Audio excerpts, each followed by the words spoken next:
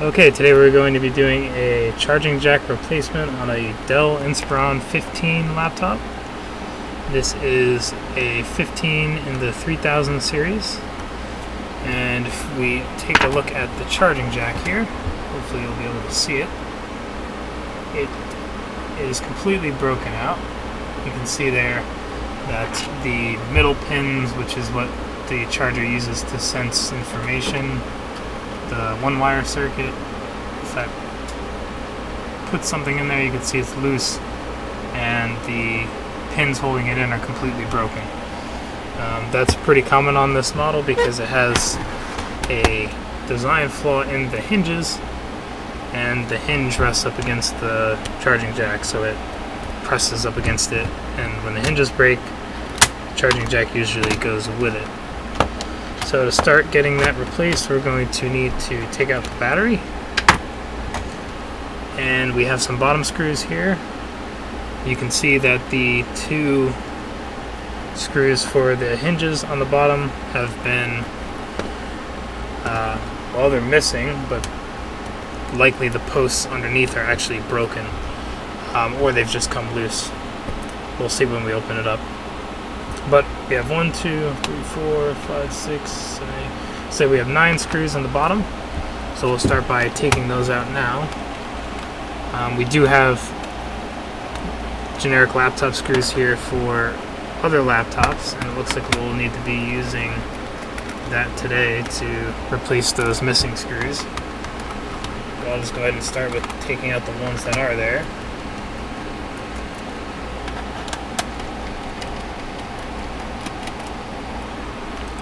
And notice that the one screw here, which is for the CD-ROM, is significantly smaller than the rest.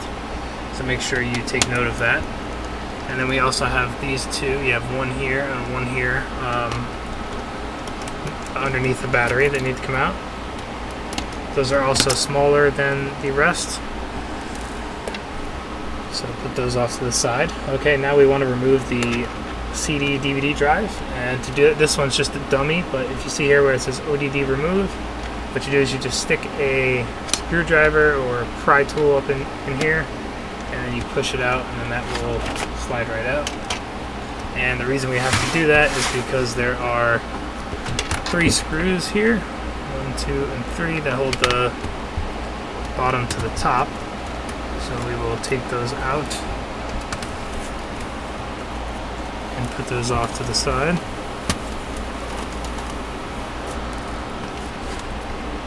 And now we are going to open the laptop. Now normally what you'd want to do is leave these two screws in, but since we don't have them, in this case I'm going to put the screw in, hopefully.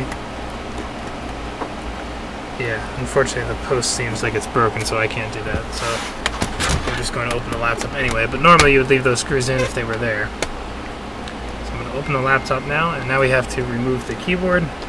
So we're going to use our guitar pick here and put the pick in between the keyboard and the plastic, the textured plastic. And we're just going to go all along the top edge there and pull up, and the keyboard should come right out. You can then lift up this black tab here, zoom in so you can see that, lift that up, and that will pull right out just like that that off to the side. Now we have another additional five screws on the bottom here, or on the top I should say. We have one,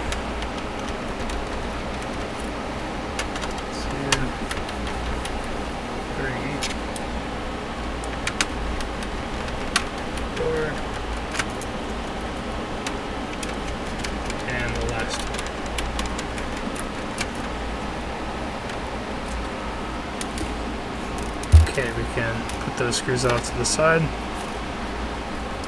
And now you're going to want to close the laptop once again.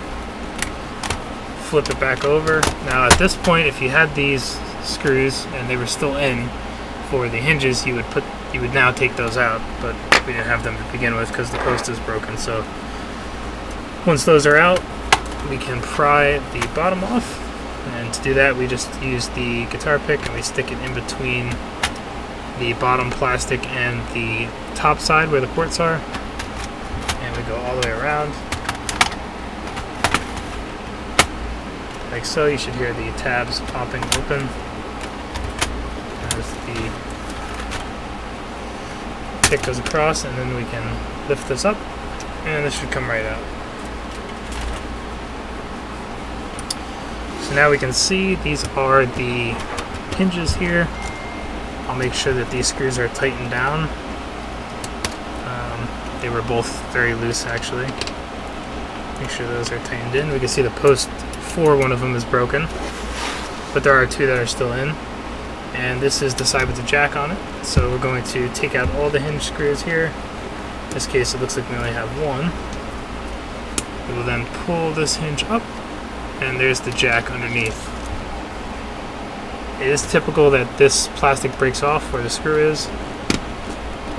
So in this case we'll just unscrew it. It did manage to stay on, but usually that also breaks.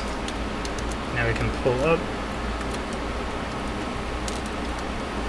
And on this one, the plug for the jack is actually underneath the motherboard.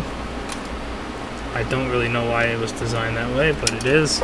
So we're going to have to either try to be very careful in plugging it in and unplugging it, or take the motherboard out if you want to be extra careful, but you can do it without doing that. And the way we'll do that is we will first take out the LCD connector. So we will use, if you have a pair of tweezers that would work as well. We'll take this top plastic off we have this little lever here that has to pop up and then that pulls straight out like that. Now we can, we'll take out this top motherboard screw to give us some flexibility. That should allow us to at least lift up the board slightly, like that. And then the jack we can just pull straight outwards. Now there is tape also holding it down on the top, so you might have to use a little bit of extra force to actually get it out.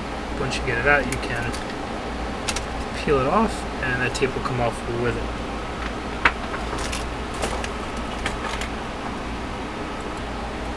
Okay, so we actually had to improvise with a jack from a different machine. We cut off the leads and soldered them and put some heat shrink on so that they would fit. Um, unfortunately, we didn't have this jack in stock, and the customer needed it back ASAP. So we managed to solder their cable to a working connector. Um, all the ones we had were too short. They're for like the 15, um, 3000 different models that have the shorter cable. So this one that we made is a little bit longer now, so we're just going to tape it down we're going to tape it down with just some normal scotch tape here just to make sure that it doesn't go above the screw post because if we screw it down then we'll break through it. So now that we got that in we can put the hinge back down and put the hinge screw back in. Now there was only one hinge screw here right there just like that and uh, now we can now we're pretty much done with uh, the actual work part of it now we can reassemble the laptop and then after that we should be good to go. So we'll start by putting the bottom back on. So I'll zoom back out this way so you can get a good look. Okay. And before we do that, we'll put in the motherboard screw we took out. And uh, make sure that this piece down here is still aligned. This thing is in there pretty loose. This is the little channel for the LED to light up in the top. So we'll make sure that that's laying in there properly, which it is. And now we can put this on and snap it in. So we'll go ahead and do that. Just press down. You'll hear the tabs clicking back in. And we'll also make sure that our jack is unobstructed. Which it looks to be look to be in good shape there. Pop all those tabs back into place, and now we can start putting our screws back in. So we have the three on the side here for the Echo underneath the CD-ROM slash DVD-ROM. So that's one. two, and three. And now we'll put the hinge screws back in. And we'll see if we can get one on this side. And it looks like we can actually, so that's pretty cool. We can now open the laptop once we got those hinge screws in. And we have the top screws that we took out. So we have one, two, three, four, five of those. So put those back into place.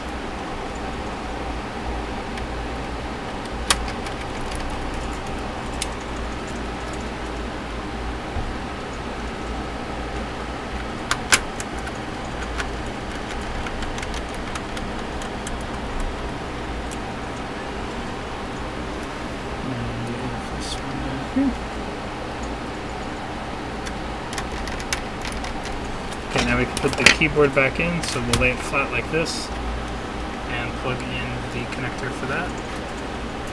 Push that in and flip the tab back down. This can then slide in like that and then press down.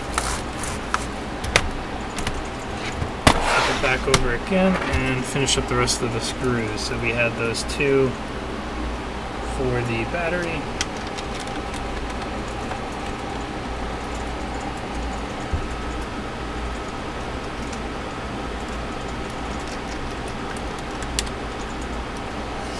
and we have the actual knockout.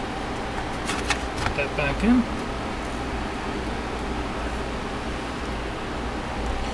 We have the CD-ROM screw and the remaining bottom screws.